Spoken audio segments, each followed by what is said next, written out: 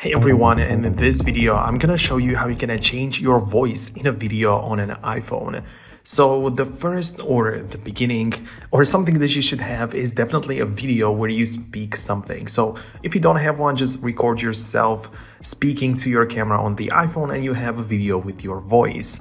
Then the next step is to make sure that you have this third-party video editor. Unfortunately, you cannot do it with the built-in features of the iPhone. You're gonna have to download a third-party app. And I'm pretty sure that there are many apps available. The one that I like to use is called CapCut. If you're following the channel, you've noticed that I talk about a lot of this app. I really like this one, but make sure to download CapCut and start a new project.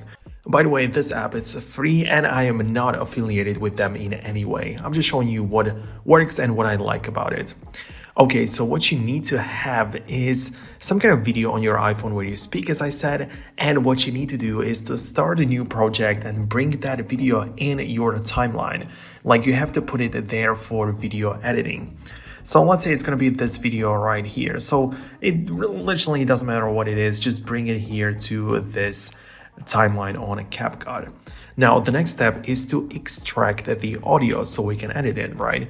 So for this, tap on the video clip and if you scroll through uh, horizontally through all the options, and there are actually many effects which you can apply here, but what I want you to do is to find the extract audio button. You can see this kind of square with a play button in the middle.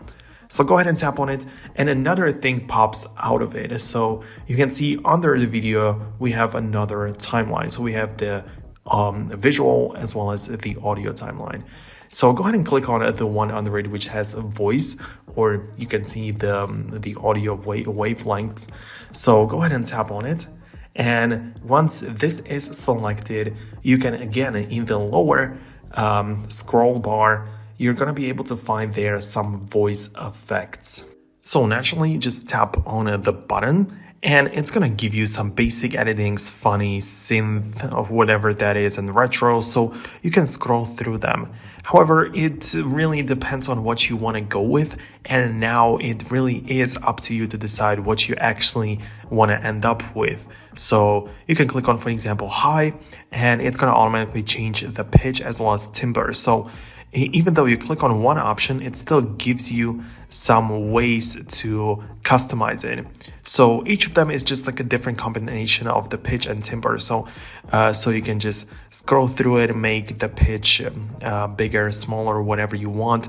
I mean, play the video once again and listen to the voice, decide if that's okay, or if you want to keep on editing it and just play around with the combination until you end up with the funny voice or a changed voice, whatever your end result is. So make sure to do that and you are gonna be done. Once you're finished, once you are happy with the way your voice sounds, you're gonna have to click on the uh, tick icon in the uh, lower right corner to like make sure that it's finished. So go ahead and click on that.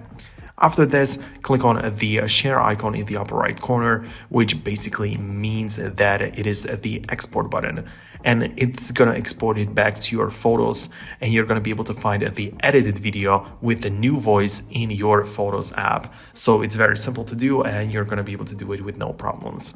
So that's the explanation. This is everything what I wanted to tell you about it. If you found this video useful and informative, make sure to subscribe to the Foxtecc YouTube channel. Thanks a lot for watching. Make sure to leave a thumbs up as well, and we can see each other in the future. Peace out, guys.